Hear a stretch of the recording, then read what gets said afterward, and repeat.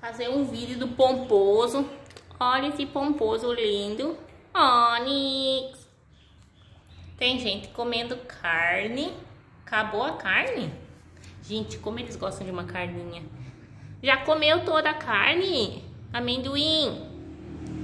Olha só, brincando com a carne. Vocês já comeram a carne de vocês. É um pedacinho, senão vocês vão ficar muito gulosos. Cadê a lua? A Lua está lá na cozinha.